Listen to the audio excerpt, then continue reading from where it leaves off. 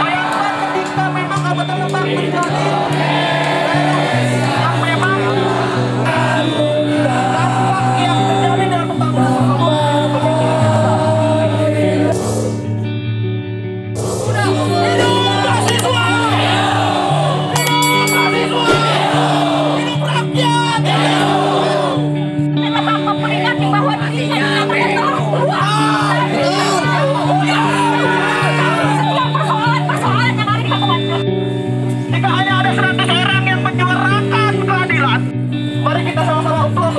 bapak-bapak polisi yang ada di depan kita.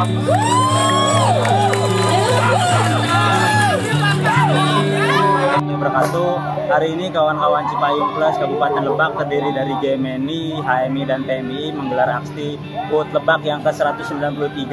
Tentu ini satu bentuk keresahan yang terjadi di bawah. Lalu kemudian kami kawan-kawan aktivis mahasiswa menyuarakan di antaranya tentang kemiskinan, pendidikan dan infrastruktur. Kenapa kemudian ini menjadi fokus hari ini?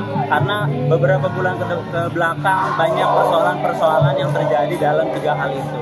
Di antaranya berbagai gedung sekolah yang seharusnya menjadi motor mendidik anak-anak bangsa ini justru terlihat ambruk tidak dirawat oleh pemerintah daerah. Lalu kemudian seperti aksi masyarakat yang kemarin terjadi di selatan itu juga menjadi satu dasar ternyata pembangunan di Kabupaten Lebak dalam bentuk infrastruktur tidak merata.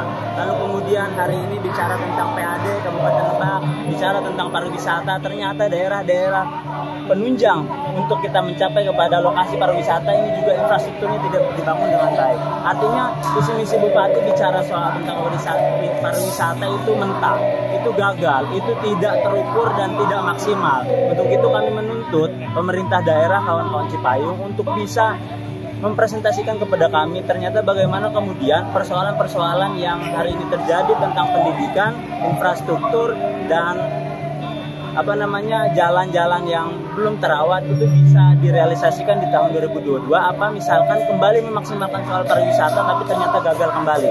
Kira-kira begitu